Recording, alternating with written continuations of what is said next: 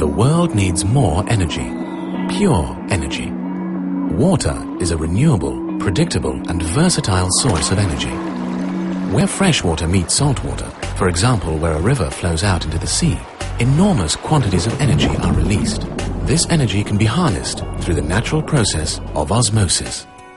If fresh and salt water are separated by a membrane, the fresh water will travel through the membrane to equal out the difference in salinity. This will increase the pressure on the seawater side, corresponding to lifting the water 120 meters. The pressurized water can be used to run a turbine that generates electricity.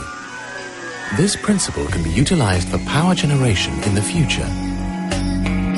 An osmotic power plant can use existing infrastructure and be located in an industrial area.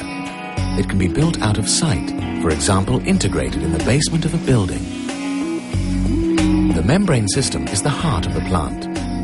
A full-scale plant would require space for several square kilometers of membrane and a network of pipes for transport of water.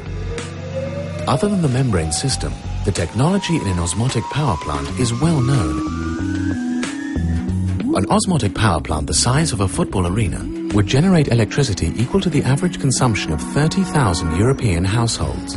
The global potential is estimated at 16 to 1700 terawatt hours annually.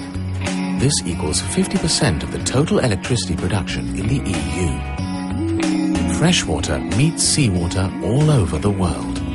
Osmotic power can be an important part of a sustainable, renewable energy supply in the future.